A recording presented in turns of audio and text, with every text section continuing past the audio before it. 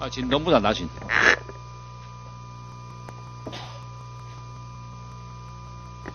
委员您好，啊，部长好哈。这个一日之计在于晨嘛，对不对？那一年之计在于春。请问部长啊，新年新希望，二零一四年部长有没有什么新希望？有。能不能？我们希望我们文化部所有的工作进行的更顺利。这样子而已啊？那就包含很多了。就很多了。对。哪些？啊，非常多。包括说，比如说今天谈到的影视音跟出版的产业，是否能够进入第十次的两会的呃的会谈，然后呃挂号，然后进入十一次的实质的讨论。包括我们正在进行的各种法案，比如说文化基本法是不是什么时候可以顺利的进入立法院？包括我们的魏武营的工程进行，包括我们的国家表演艺术中心的整个的呃成立，啊非常多。所以你是希望文化部的同仁工作顺利愉快？我希望对，是不是？不但是顺利，而且希望他们各个的身心平安。部长，请问你今年有没有制作春联？我自己没有。部里面有没有？应呃没有制作春联没有。都没有。嗯，哎，我觉得春联是一个台湾一个很好的一个民间文化，是传统文化，是值得提倡。嗯，但是我看报纸有的写啊，这个各种政治性的这个意味太浓厚的部分呢，我个人其实也不认同。那我这里有一张这个春联哦，想请这个部长指教一下。您自己写的吗？是您自己写的吗？很漂亮。是漂亮吗？很漂亮。不是意思好不好？意思当然很深沉，很好。很好哈，什么意思啊？平安喜乐。对，是照你字面上的解解释什么什么意思？呃，它看起来是最寻常的四个字，但是真正的要做到，其实需要很多的运气。很需要的努力了哈。对。其实我在国事论坛里面谈过几次了。我刚刚讲一日之计，然后一年之计，然后一生之计啊，人的一生之计在于勤。一家之计在什么？一个家庭之计在什么？在于爱呀。哎，你没听过这个成语吗？一家之计在于和，和平的和，家和万事兴的和。现在啊，不只是民间的民众哦，大家对于这个啊台湾的政治的这种文化不能接受，对政治人物的一些言行呢，更。不敢苟同，也就是大家只问难力不问是非，啊，政党的恶斗啊，让国家内耗太多，也是阻碍所有进步的发展。我在国事论坛里面有提到，啊，在岁末的前两个礼拜，郝龙斌郝龙斌市长曾提提过一句话：难力不和解，谁执政都一样。啊，最近我也看到马总统特别。啊，提到一些严淡的谈话，我们何尝不希望南力和解？那怎么和解？刚刚讲啊，家和万事兴嘛，对不对？我们希望这个国家进步，我们希望这个国家能够为人民带来福祉。这个和这个这个国家其实也是一个家，要和的，要团结。哦，所以我说实在我个人，所以我知道我是。是政治人物哈，但是我蛮讨厌政治人物的，啊，这个是一般民众的心声呐，啊，在前我们的前面都我们鼓掌，哦，长官等你照，但是私底下都最会骂的是骂政治人物，哦，蛮感慨的哈，所以啊，很多东西都太政治化了，所以我特别啊做这个春联，我我希望啊这个这么好的风俗呢，不要过于政治化，啊。不要过于政治化，那个我认为都不大好，啊，那只是让社会更浮动，男女更对决，啊，那我们这样文化的工作呢，也是一样不分男女，能够来推动。那我想请教部长啊，依然中心职场，在本席上任之后呢，我们好不容易经过经建会、国营会、国科会跟行政院长的允诺呢，啊，希望能够尽速处理这闲置十几年的。这些中心职场的基地，原来是规划作为科学园区的，大概三十四公顷，非常四方或者在在省道在高速公路底下，啊，非常适合的一个地方啊。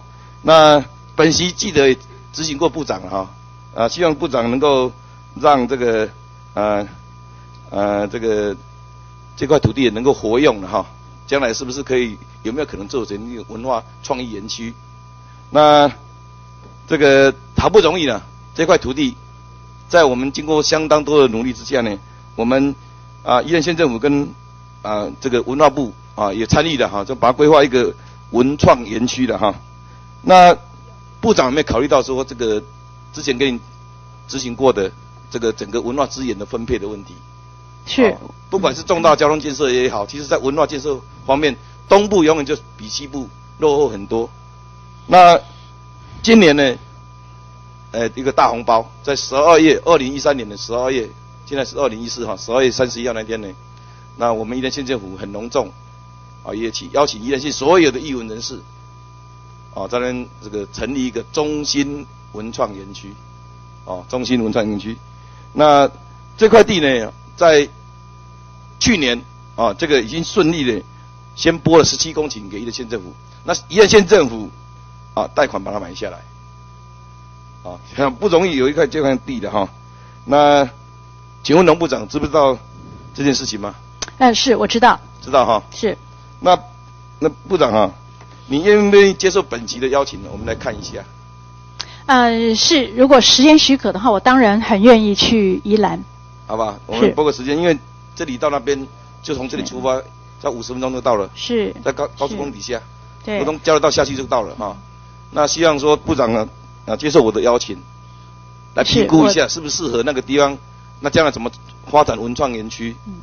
啊，那部长知道马总统有一有一个承诺哈，这个而且他信誓旦旦讲了好几次。就是要这个要建设一个蒋渭水纪念馆，那不晓得现在进度怎么样？嗯，我们我们文化这文化部并没有在推动这件事情，但是我们知道这件事情，说如果是宜兰县政府他有意做这样的呃这样的推动的话，我们会尽全力的协助。那部长哈，这个农文化部是我们。这个马总统第一个成立的一个部会啊，这个把文化建设委员会提升为这文化部，对，那是最早成立一个部，是啊，那大家对你期待很深，你是第一任的部长，那我看马总统这六年来哈，说实在真的我很遗憾哦，全国到现在没有因为他的这个要推动文化的理念啊，把这些软体变成硬体，我看不到有任何一座。美术馆，或者是音乐厅，在他的内去建建设完成。你知道马东？委员，可是很多事情都在进行中。你比如说魏武营，它已经到了最后的阶段了。然后我们啊，台北跟高雄的流行音乐中心也在进行中。再加上我们协助很多地方政府，你比如说屏东的演艺厅啦，或者是苗栗呃的公益中心啊等等。其实啊，很多的建设是在进行中的。你刚刚讲的那些地方有没有美术馆？嗯，美术馆本身并没有，没有哈，所以我是建议了哈。那个马总统他也提到说，建立蒋渭水纪念馆。那蒋渭水是宜兰人，哦，那宜兰发展文化的企图心，跟他的你之前你个讲，虽然资源不丰富，但是他的能量很高，哦，你对宜兰县有多所肯定。那我建议是不是，我们来看一下这块地适不适合，啊，那做一个评估。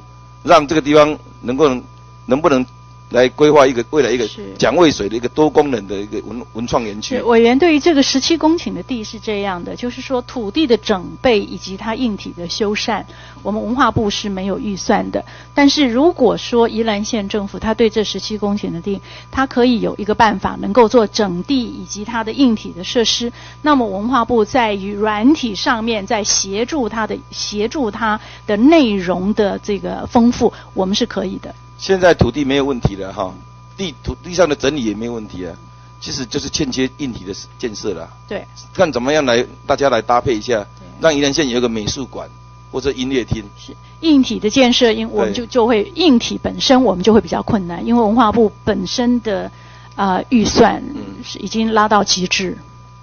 未来未来几年都不可能吗？我们现在土地都已经完准备好了，就。就等我们文化部来怎么样来来协助我们规划使用。是委员，我们文化部的预算您也知道是十个大部之中最小的预算。期待春春春节期间你们有个时间过来。呃，嗯不好意思，我要我要看一下我的我啊，我们这样子好不好？我们努力看看好不好？在开议之前，我们来看一下好不好？呃，我们我试试看好不好？就是我 O A 看之前，我。们来那三月一号之前好不好？呃，那个委员因为我们现在正在大搬迁，所以不太知道。1号呢还有两我们个多月我们我们我看一下情况，我努力看看。好，谢谢。努力看看谢谢委员